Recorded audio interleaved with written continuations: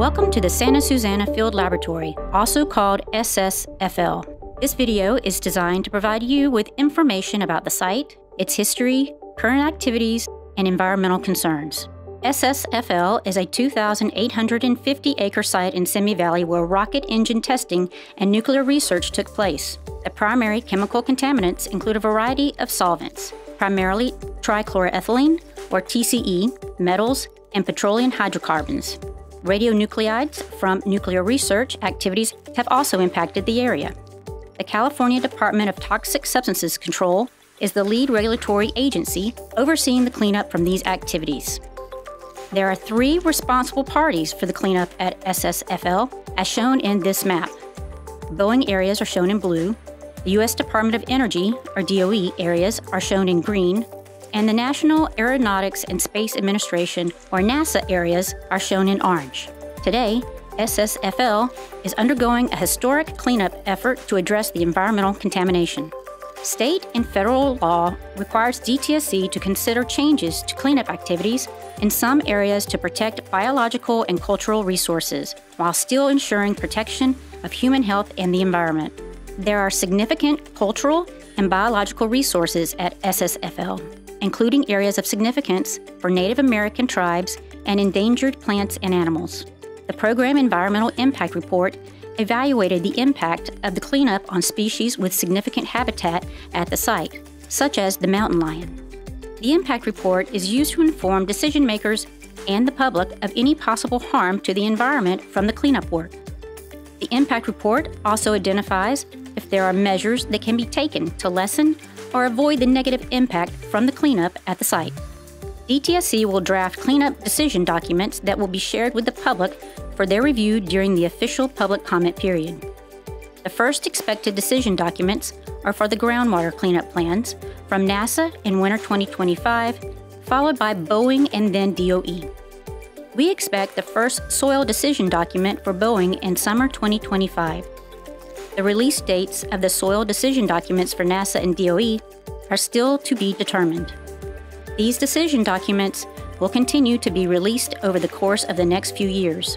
All public input will be considered in our final decision making process. Several soil, groundwater, and soil vapor cleanup activities at the site are already underway. DTSC issued an emergency order for the cleanup of the former Rocketdyne employee shooting range, also known as Sage Ranch. Excavation started in June 2023 and will be completed in fall 2024. More than 1,500 truckloads of waste have been transported off site for disposal.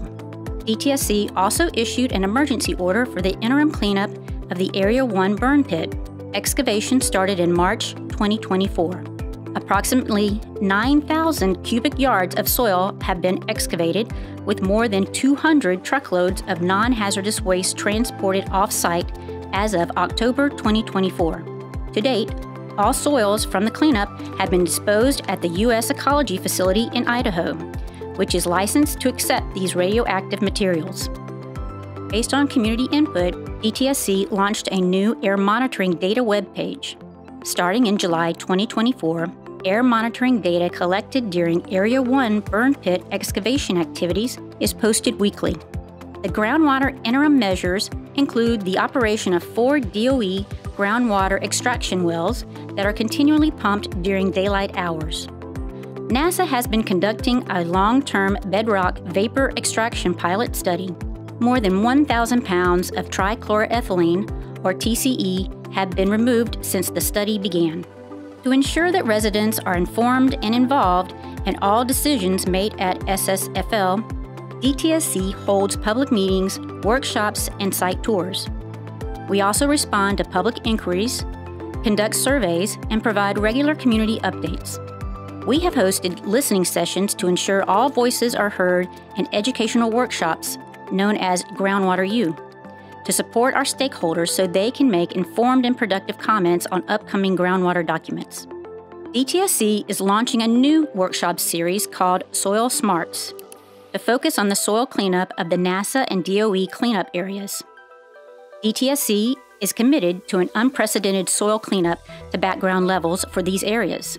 This workshop series will be an interactive learning series to help the public understand the complexity of the cleanup and engage in finding solutions to challenges together. There are many ways to stay informed and participate in the cleanup efforts at SSFL. Your input is valuable and helps to ensure that the cleanup is conducted in a transparent and accountable manner.